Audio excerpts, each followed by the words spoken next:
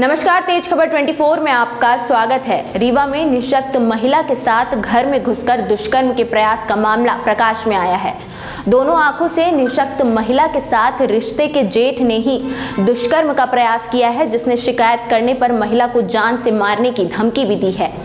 पीड़ित निशक्त महिला ने आज पुलिस अधीक्षक से मामले की शिकायत कर कार्यवाही की मांग की है।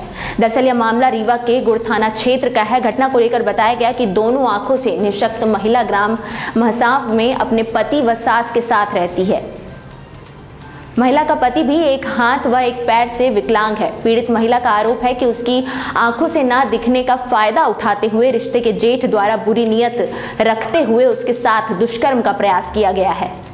महिला ने बताया कि आरोपी ने शिकायत करने पर उसे जान से मारने की धमकी दी थी लेकिन आरोपी की इस हरकत से परेशान होकर पीड़ित ने एसपी से गुहार लगाते हुए कार्यवाही की मांग की है।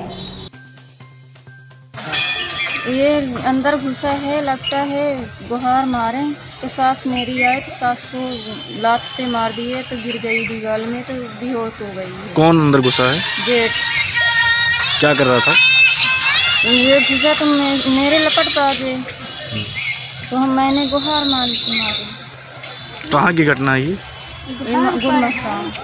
तो रिपोर्ट लिखवाई है थाने में आपने? हाँ। पुलिस वाले क्या आश्वासन दिए? पुलिस वाले सुने हैं पे वो आगे पहुँच गए पैसा भर दिया तो मेरा नहीं रिपोर्ट लिखा थोड़ा लिखा थोड़ा बहुत है।